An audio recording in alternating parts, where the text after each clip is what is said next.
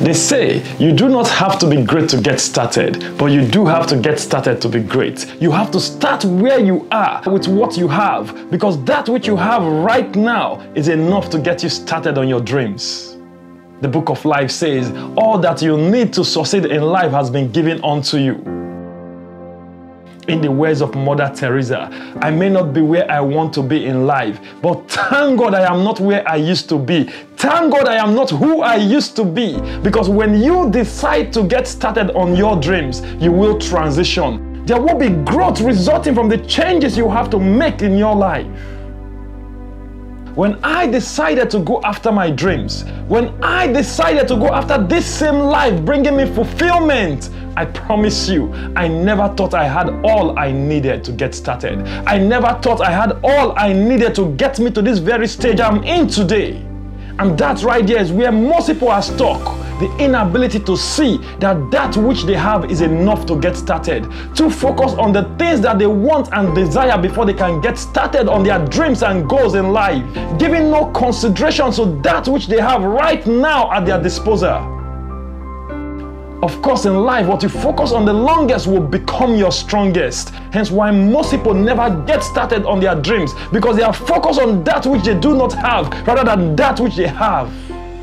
Let me tell you this for free.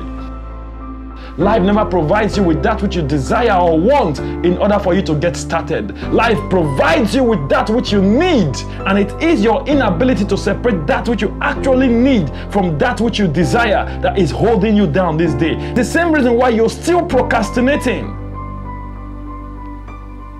The same reason why most people never go after their dreams in life, why they never put their talent and gifts to use because they actually never got started. They remain stuck in the planning phase, waiting and anticipating for some external factor to change, hoping that the economy will get better, hoping that the government of the day will change, hoping that their personal circumstance will change before they got started. The change you need, the change you're waiting for out there needs to come from within. Most people just never make the move towards their dreams because they are waiting and anticipating that external change. And in life, when you refuse to move, life will move on you. Life will throw you some curveballs that will keep you busy right there where you are until your life slips away. Every farmer knows that if you continue to look at the weather, you will not plant. And if you do not plant, you will not grow. You will not multiply. And without growth, you cannot reach your dreams.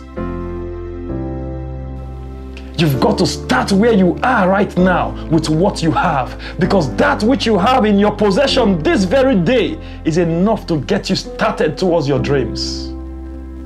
I encourage you to subscribe to my channel for more motivations.